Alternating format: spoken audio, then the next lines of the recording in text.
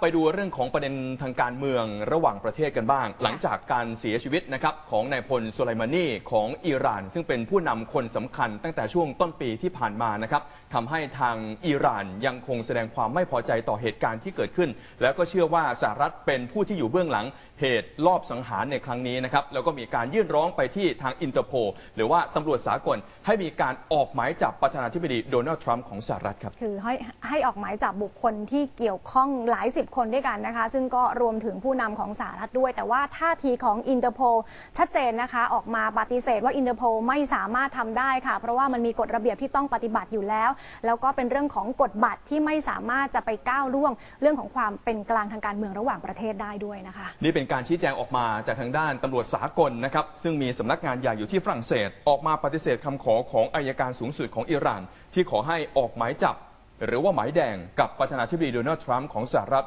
และบุคคลอื่น ๆ รวม 36 คน เนื่องจากมองว่าประธานาธิบดีสหรัฐเป็นบุคคลอันดับแรก ๆ ที่มีส่วนเกี่ยวข้องกับการลอบสังหารนายพลกาเซมสุไลมานีอดีตผู้บัญชาการหน่วยรบของอิหร่านที่ถูกสังหารด้วยปฏิบัติการโจมตีทางอากาศจากโดรนในช่วงที่กำลังเดินทางเยือนในพื้นที่อิรัก เมื่อวันที่ 3 มกราคมที่ผ่านมา โดยทางการอิหร่านมองว่านี่เป็นการก่อการร้ายที่ลงมือโดยรัฐบาล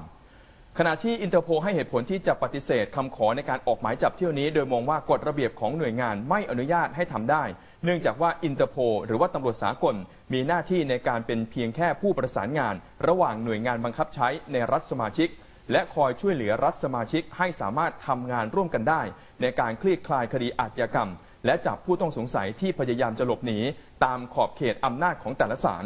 นอกจากนั้นยังต้องรักษาความเป็นกลางทางการเมืองเอาไว้ด้วย โดยมีกฎบัตร ห้ามเข้าไปมีส่วนเกี่ยวข้องกับกิจกรรมต่างๆ ในเชิงการเมือง ทหาร ศาสนา หรือที่เกี่ยวข้องกับประเด็นด้านเชื้อชาติ เพราะฉะนั้นก็ออกมาปฏิเสธในประเด็นนี้เรียบร้อยแล้วนะครับ ขอบคุณที่ติดตามรับชม TNN ช่อง 16 นะครับ อย่าลืมครับ เข้าไปกด subscribe และกดรูปกระดิ่งนะครับ เพราะว่าเรายังมีคลิปวิดีโอที่น่าสนใจ